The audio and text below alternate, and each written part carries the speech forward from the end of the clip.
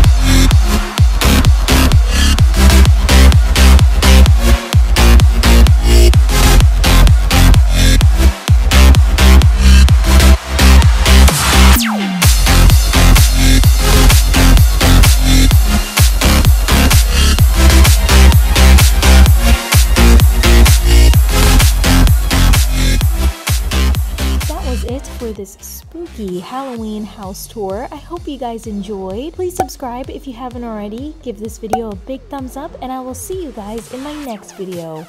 Happy Halloween!